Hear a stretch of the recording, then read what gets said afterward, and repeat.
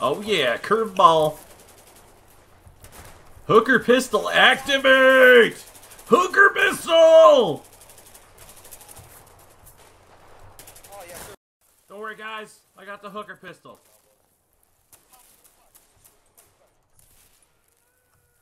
I didn't hit a single thing there. This thing is not accurate.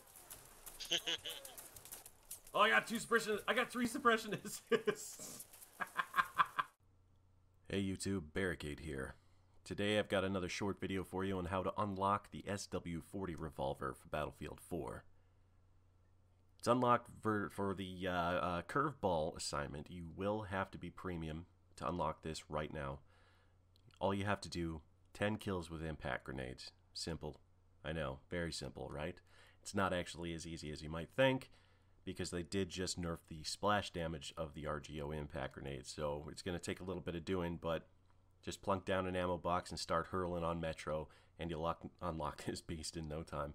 Uh, I call it the hooker pistol because it looks like something that uh, you know you pull out of a purse or you know out of a garter belt.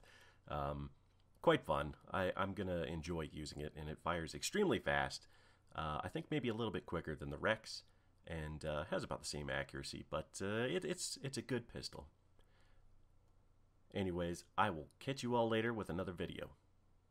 You know how I do.